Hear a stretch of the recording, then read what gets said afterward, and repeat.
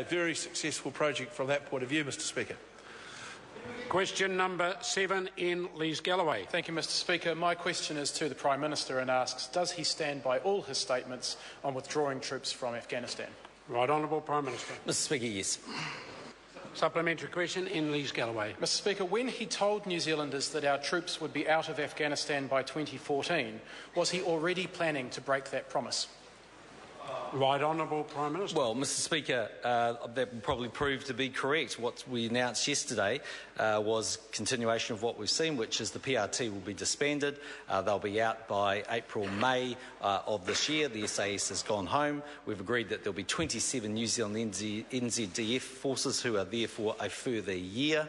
Um, that's to about the middle of 2014. We'll assess that situation at that point then. But I think it makes sense to have those people in behind the wire roles supporting a smooth transition to the Afghan government. Supplementary question Iain Lees-Galloway.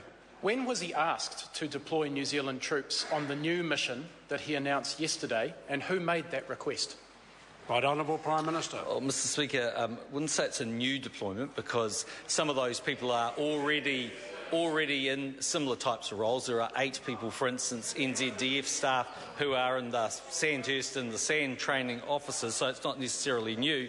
And in fact, the logistics uh, and intelligence role played by the three SAS people, again, is already happening at the moment, but the basis of their mandate is changing. I can't tell you the exact date uh, when there were discussions between the Minister of Defence and his counterparts and the Minister of Foreign Affairs and their counterparts, uh, but that would have happened sometime over the last 12 months. The Minister of Defence is away at an ISAF NATO meeting at the moment. Those things uh, are discussions all the time.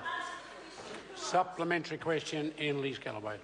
Can he confirm to the House whether or not the United States government requested troops to be deployed in Kabul following the withdrawal of the Provincial Reconstruction Team in Bamiyan?